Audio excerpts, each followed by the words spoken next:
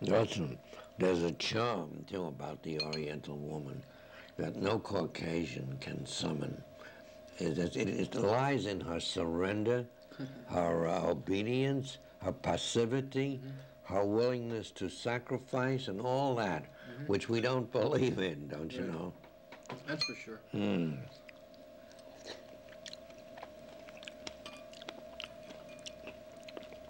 And then, have you ever noticed that how easily and readily they smile? Isn't that a wonderful thing? Do you ever find a Caucasian smiling so beautifully as they do? No, So I, bewitchingly, you know? I admit they're. Huh?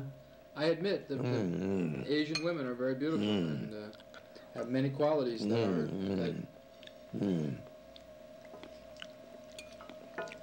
yeah, it's hard to refute. Now, I'm in love with a Chinese actress. Right now. And she's a woman in her 40s. Mhm. She's no spring chicken, you know. Mhm. I know her children, her daughters. And they're both beautiful, you know. I could fall in love with them too. oh, yes. but this woman who's in her 40s and been an actress, it's so unbelievably beautiful. I mean, she looks 20 years younger than her actual age at times. Do you know that? You wouldn't believe it. If I could show you photos. Hmm.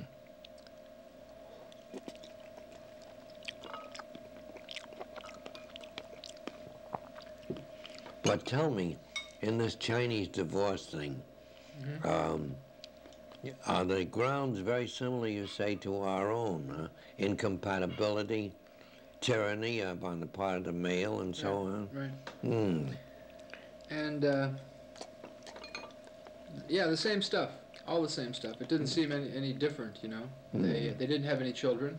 The divorce was not granted. Oh, really? Uh, the judges felt that uh, they should try to to work things yeah, out. Yeah, Uh, there's no question that the Chinese are trying to to build a family unit. you yeah, know. yeah, oh, yeah. So they don't want to let people get off easily. yes, yes. But at the same time, they don't want people to be together if they're going to be miserable. I you know? see, So they I say, see. well, you know, it's a very difficult thing. They're very honest about it. And It is, it is, of course. Yep. Of course it is. And the surprising thing is, you said the judge was only 21 years old. Right.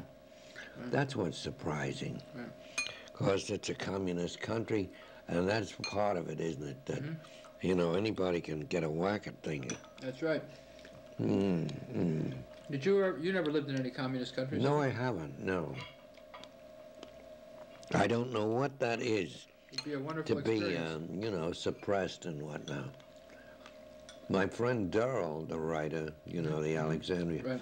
he's lived in communist countries and hates them.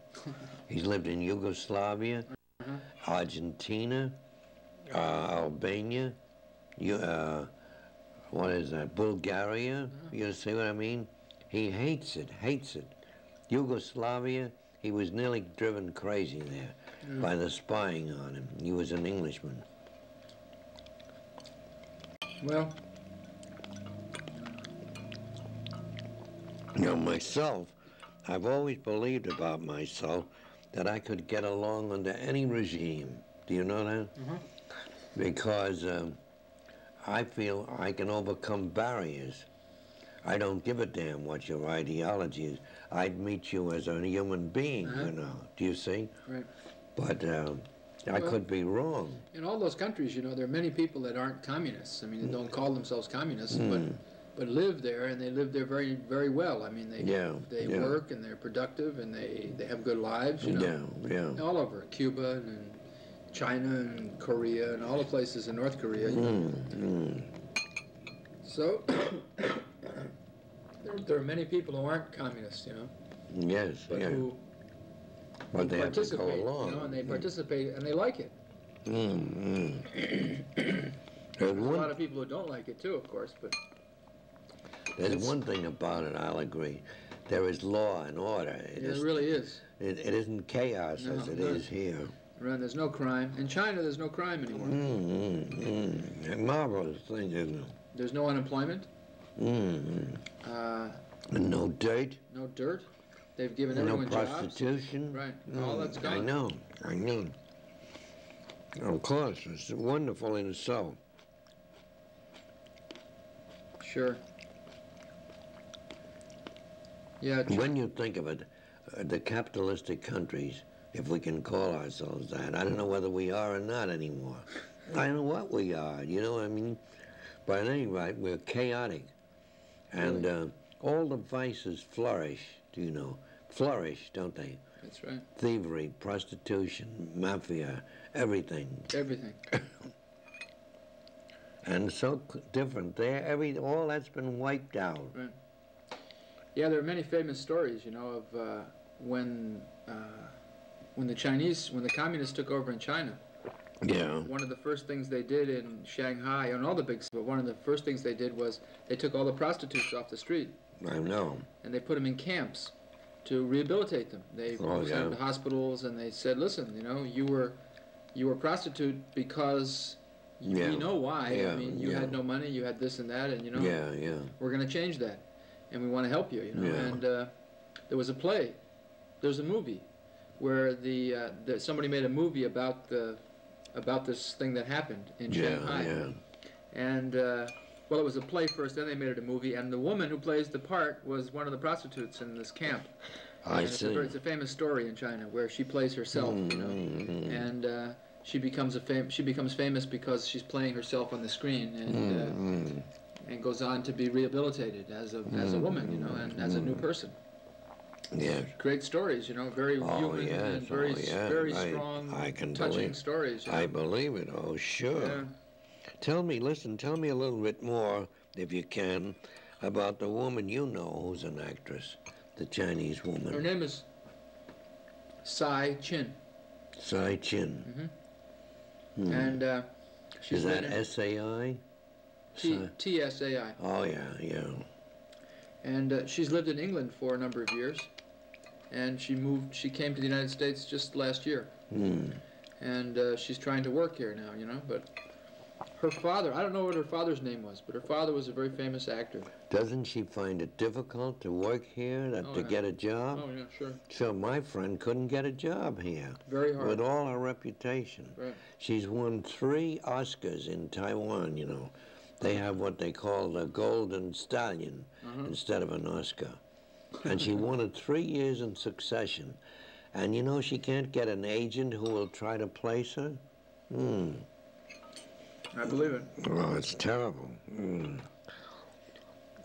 They'll take an American actress and make her look like a Chinese and Right. try to act. Rather than hire a Chinese woman, right? Hmm.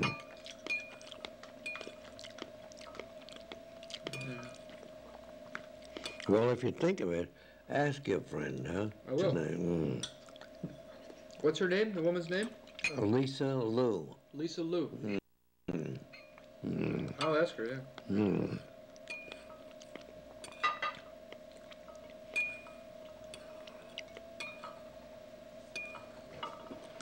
Put some water on.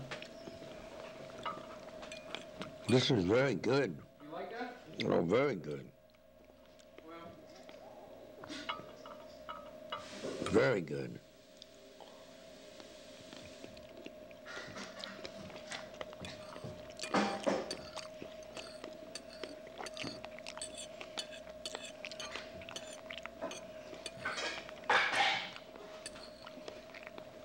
it's not. Uh, it's not the the best, Henry, but it's No, it's good though. It's good. Good to me. Yeah. Mm.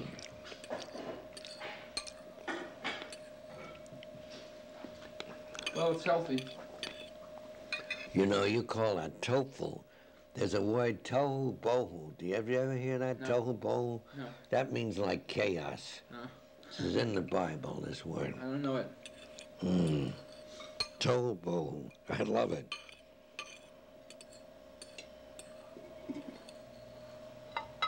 How about some more? You want some more? I don't think I can eat anymore. Okay. Um, I have a little rice here. There's a little more gravy here. Huh? Mm-hmm. Want a little more of this? Yeah, and a little of that. Of Sure. that, yeah, just a little. Mm. Beautiful. It is beautiful. What are you going to do with this now? Put it in the fridge? Yeah. You know, I have a Negro nurse who comes every day. So he washes me, he makes me breakfast, and so on. He always looks in the icebox. Blame him. Mm, Well, if he has a good appetite, he'll have some of this for breakfast. I think he'll love this. Mm. He's a cook himself, you know. I've seen him. I was Yes, here once when he was yes. He makes my breakfast every morning. Uh-huh. And I like him. I like him more and more as time goes on. He's a homosexual, Uh-huh. but if I may say, in a, in a, not in an obnoxious way. That's a funny way to put it. I know what you But we know that he is. You know, he doesn't deny it, and he has all the traits. For instance, he wears a new suit every day, complete new outfit. He never comes in the same thing twice. Would you believe that? It's great. Yeah, it's more than a woman, you know. He must does. have a lot of money, huh? No, he doesn't. He doesn't. But he spends all his money on On clothes. right? Yeah. And then if he had any over, he'd spend it on a car. Hmm. Well, this is good. Good meal. And we don't have that feeling we need meat when we eat this. This is great. Hmm.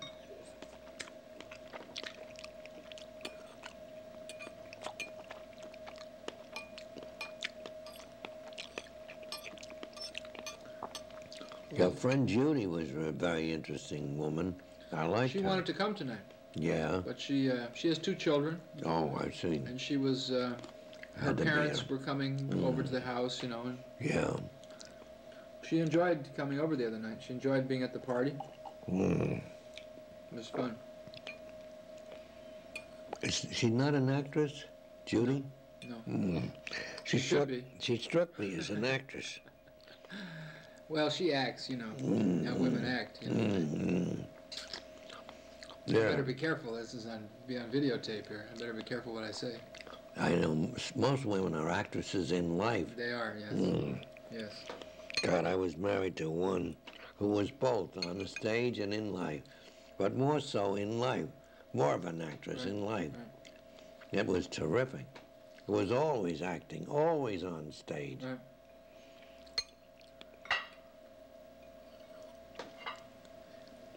Yeah.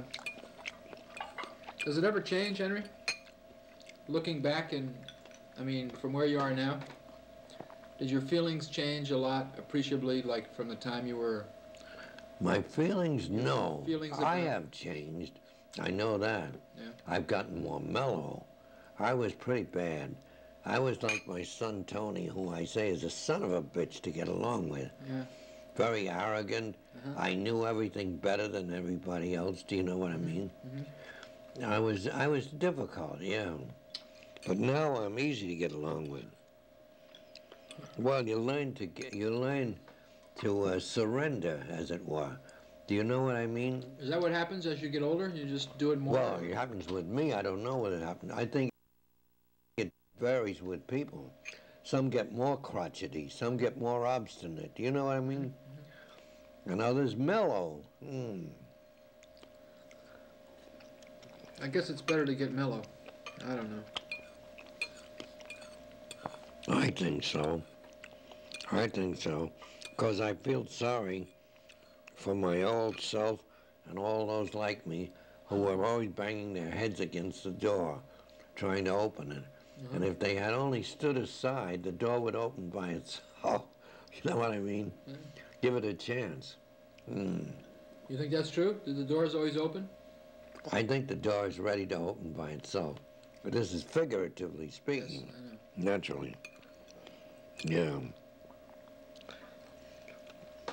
I think the harder you push becomes. You know what I mean? Yes. Mm. Asian thinking. Yes, I know it. I think I have a lot of the Orient in me. Do you know what I mean? Yep.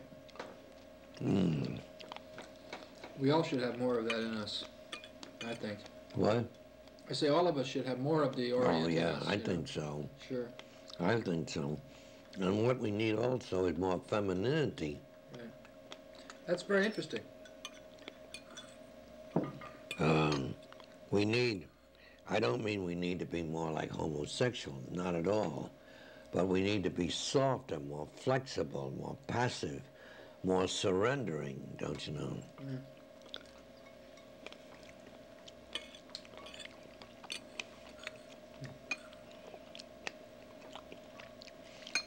You had many ingredients, didn't you, in here? Yep. Hmm. I'm trying to recall what it all is that I tasted. Eggplant, Mm. What's that? broccoli, Broccoli? mushrooms, onions. Mm. Uh, Do you cook for yourself usually? Is that it? yeah, Mm. I love to cook. Mm. It's one of the pleasures in life that I've that I've been able to. Would you believe that when I was in Paris, I cooked Yeah. not only for myself but for my friends, Uh-huh. And on a two-burner stove, you know. It's so much fun, you know, to cook. I know it. I know. People take it so seriously most of the time, you know, because Mm, mm. they're afraid of it. You know what I mean? They don't. They just. They You don't, know, they don't open up to it. You know. in Paris, every night I had good wine, Yeah. wonderful wine. Yeah. Well, it's good you can still drink wine. That's for sure. Oh You're yeah, gonna be I- what? 84? You're gonna be 84 Friday or yeah. something? Mm, My grandfather, you know, is still alive. He's an old Roman, and he drinks wine. Still drinks it. yeah, is he used to make his Italian? own- yeah, yeah. Mm. He used to make his own wine. You know, him and his brother. Is that right? Yeah. Is that right? They've drank it all their lives, and he's 80.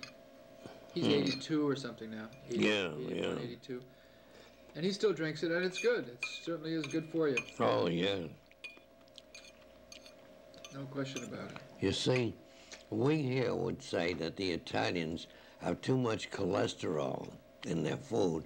They drink all, they eat all that pasta, you know, huh? and the cheeses. But they get along just fine on it, seems to me. They do. They live to Hmm. the ripe old age, for sure. Mm. You see, we now, when we eat, we're always worrying, well, should we have this? Should we eat that? Do you know what I mean? Which is a bad way to begin a meal, isn't it? Sure is. You know. Well, this was delicious, really. Well, I'm glad you liked it, Henry. Mm, mm. I guess it's Merry Christmas, I guess. Mm. That's fine. You're right about the red wine. It's much better. Yeah, Much nicer. I think so. Yeah. Oh, you've got something on me. It's your I mic. That's your microphone. yeah, I forgot it was on.